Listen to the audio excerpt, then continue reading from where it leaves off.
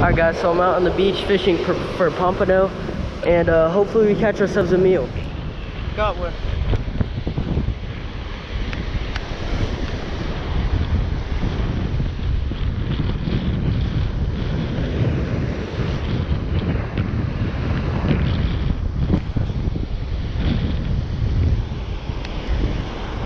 Pompano. Good size one. That's a keeper, no doubt. That's a big pompano. Alright guys, good, good size pompano. Good meat off that guy. Definitely gonna keep him. Alright, so guys, I measured him. He's 11 and a half inches. And uh, we're gonna keep this guy. We're gonna cast back out. Hope we catch another good fish. I guess we're about to find the, the pompano.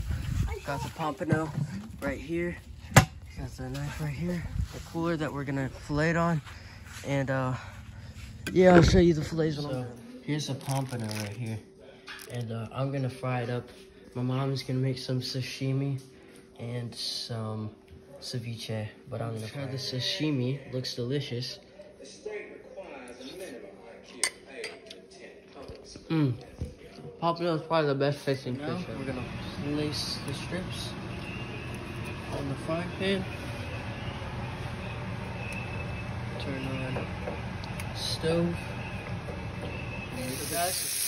Pompano strips are done frying, and we're gonna place them on that piece of plate right there. Okay.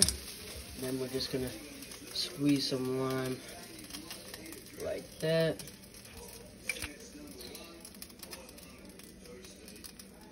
So I'm gonna try the fish with the Everglades seasoning and some rice. Mmm. Probably the best fish I've ever had. I think catch a pompano. It's better than redfish or trout, so yeah.